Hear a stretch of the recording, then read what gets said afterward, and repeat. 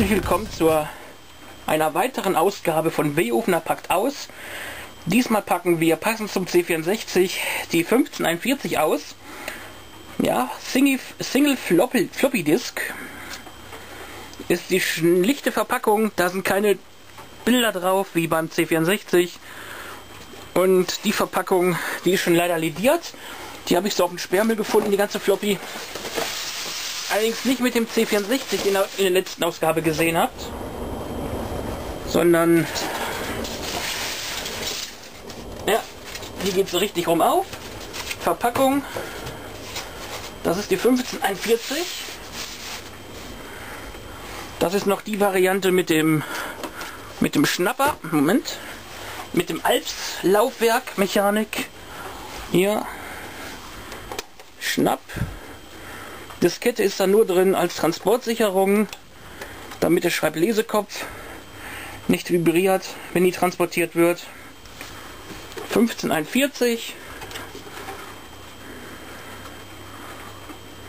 Made in Japan. Später Varianten wurden in Western Germany hergestellt.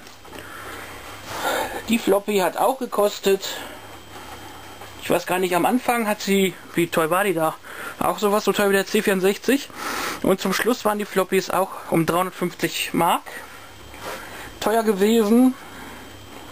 Konnte Disketten einseitig beschreiben. 170 Kilobyte pro Seite. 35 Tracks. Also 35 Spuren. Standardmäßig ansprechbar von dem von dem DOS der Floppy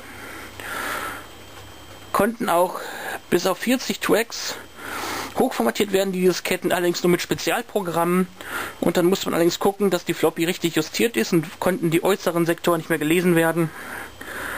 Und diese Tricks mit den hohen Tracks über Track 35 sind auch von diversen Kopierschutzmaßnahmen dann ausgenutzt worden, sodass man die mit normalen Kopierprogrammen nicht mehr kopieren konnten, aber das ist eine andere Geschichte.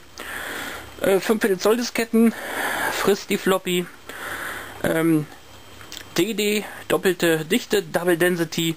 HD-Disketten vom PC können nicht gelesen werden, auch nicht beschrieben werden, da die Magnetstärke eine andere ist. Man kriegt zwar Daten drauf, aber nach zwei Stunden oder einem Tag sind die Daten wieder weg. Weil der Floppy-Kopf die Scheiben nicht richtig magnetisieren kann. Aber DD-Disketten wenn ihr sowas noch habt am PC mit 360 Kilobyte, die könnt ihr für die Floppy benutzen. Das mache ich ja mittlerweile auch wieder. Und wenn man die Disketten dann zweiseitig haben wollte, konnte man die Disketten dann auch mit einem Diskettenlocher lochen, was ich ja in meinem Special gezeigt habe. Ja, und diese Floppy hat auch einen kleinen Defekt. Sie wird nicht mehr erkannt.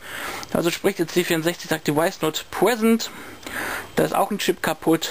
Den werde ich auch noch austauschen und das Ding wieder lauffähig machen. Ja, die habe ich auch aus dem Sperrmüll gefischt. Also was Leute alles wegschmeißen, unbelievable und dann original verpackt. Allerdings war bei der Floppy keine Gebrauchsanweisung dabei gewesen wie beim C64, aber ich finde die Verpackung zählt da bei mir meistens mittlerweile mehr. Weil das Schöne ist, man kann dann die Floppies wieder in die Verpackung tun und wenn sie gesäubert sind und dann behalten sie ihren natürlichen Glanz. Okay, das war Weofner packt aus, eine 1541 und ich würde sagen, wir sehen uns dann bei der nächsten Ausgabe. Bis dann. Ciao, ciao.